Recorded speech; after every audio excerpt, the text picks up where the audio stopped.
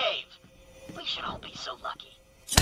That's a rugged VCK all-terrain package. It's like four-wheel drive, but in a single wheel. That's just math.